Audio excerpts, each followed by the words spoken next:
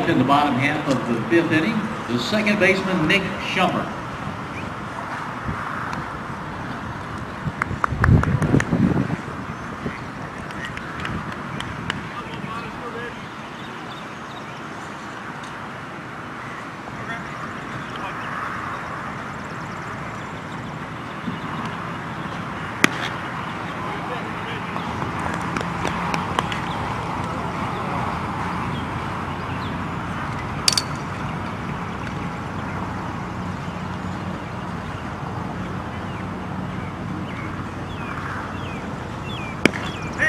boy.